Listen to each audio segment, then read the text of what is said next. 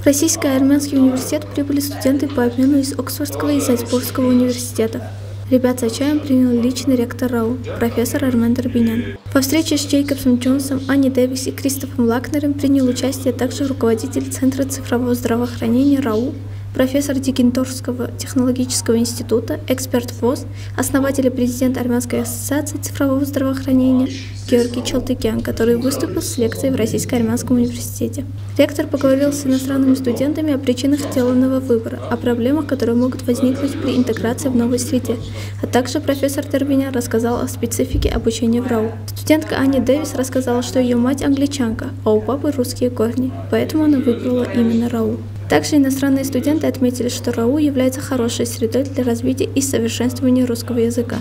Отметим, по всем вопросам ребят курирует Департамент международного сотрудничества РАУ.